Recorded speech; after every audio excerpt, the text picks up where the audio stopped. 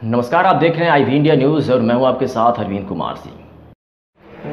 UP के बलिया जनपद के रेवती थाना क्षेत्र के अंतर्गत नारायणगढ़ गाँव में शौच लिए जा रही महिला को उसी की देवरानी ने मामूली विवाद को लेकर लोहे के रॉड से पीट पीट कर हत्या कर दी है। इस घटना से पूरे गाँव में हड़कम मच गया है। मौके पर पहुँची पुलिस ने शव को कब्जे में लेकर जाँच में जुट गई है।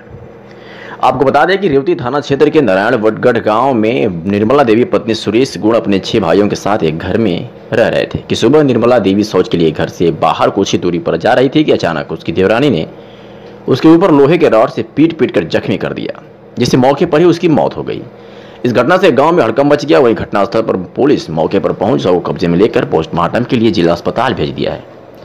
आपको बता दें कि मृतक महिला के पति के तहरीर पर पुलिस ने मुकदमा दर्ज कर देवरानी महिला को गिरफ़्तार कर लिया है। वहीं पुलिस अधीक्षक सिरपौना गांगुली की माने तो कोई पूर्व में रंजिश या जमीनी विवाद नहीं था, यह तत्कालीन घटना प्रतीत हो रही है, जिसे लेकर अग्रिम कार्रवाई की जा रही है। गाँव नारायणगढ़, इसके क्षेत्र के अंतर्गत ये छह भाई एक साथ रहते हैं।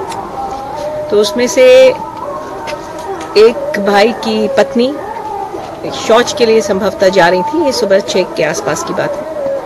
तो उन्हीं की देवरानी ने उनको रॉड से प्रहार किया, जिससे उनको चोटें आई, गंभीर रूप से घायल हुई और उनकी मृत्यु हो गई है।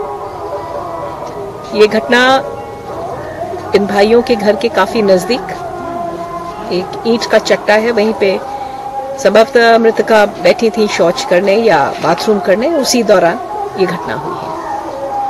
पूर्व में ज़मीन संबंधी कोई विवाद नहीं प्रकाश में आया है। और ये घटना बिल्कुल तात्कालिक प्रतीत हो रही है जैसा कि चश, चश्मदीद गवाहों ने भी बताया है। अग्रिम विधिक कार्रवाई की जा रही है।